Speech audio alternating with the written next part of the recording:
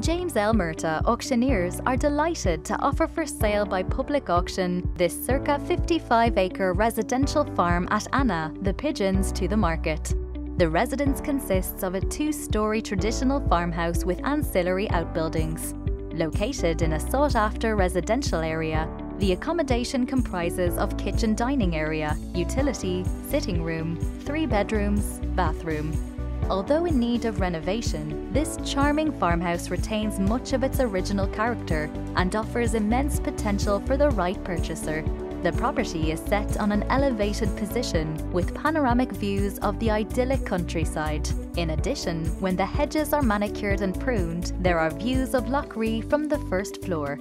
The lands are all under permanent pasture, with mature hedgerows and native trees surround, are of good quality and laid out in eight neat manageable divisions.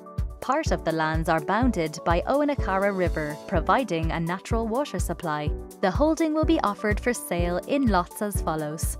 Lot 1 Residence and outbuildings on circa 7 acres.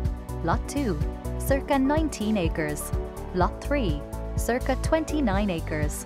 Lot 4, Entire, located 7 kilometres from Ballymahon, 13 kilometres from Athlone.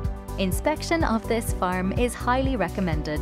The auction will take place on Wednesday 14th July at 4pm in the Greville Arms Hotel Mullingar and via LSL Auctions online.